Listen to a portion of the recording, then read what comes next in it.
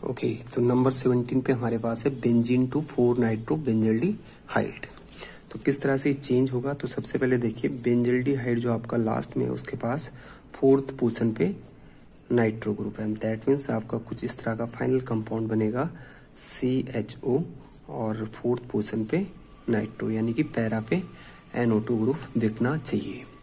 अब यहाँ पर हम प्रोसेस स्टार्ट करते हैं। तो सबसे पहले आपके पास क्या है? बेंजीन है। ठीक है? तो बेंजीन और इसको हमें चेंज करना है यहाँ पर। एक तरफ़ तो आपको सी एच ओ लेकर आना है, और दूसरी तरफ़ आपको एन ओ टू ग्रुप लेकर आना है। अब यहाँ पर बहुत सारे तरीके हो सकते हैं, लेकिन हम यहाँ पर जो तरीका यूज़ कर रहे हैं, सबसे पहले हम क्या कर लेते हैं? यहाँ पर C S three C L और anhydrous A L C L three use कर लेते हैं। तो आपको याद होगा कि यहाँ पर जो आपका ग्रुप इंटर होगा that will be C S three methyl benzene या टॉल्यून आपका यहाँ पर फॉर्म हुआ। अब टॉल्यून का अगर हम नाइट्रेशन कराएँ तो मेजर प्रोडक्ट देखें। इसका हमने नाइट्रेशन कराया। तो नाइट्रेशन करने पे आपको पता है कि ये मेजर प्रोडक्ट जो देगा, पैरा वाला होगा।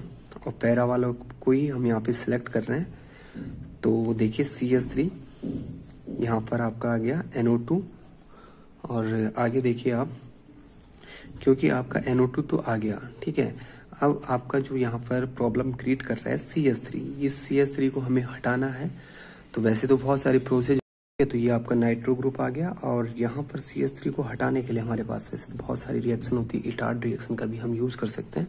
फ़िलहाल हम यहाँ पर जो ऐड कर रहे हैं रिजेंट यहाँ पर हमने ऐड किया सी आर ओ थ्री और साथ में हमने यहाँ पे डाला acidic anhydride C S three C O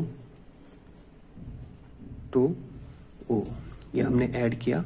जैसे आप इस तरह से ऐड करोगे तो आपके पास यहाँ पर जो कंपाउंड बनने जा रहा है, वो आपका कुछ इस तरह से होगा एनओ टू तो अपनी जगह रहेगा।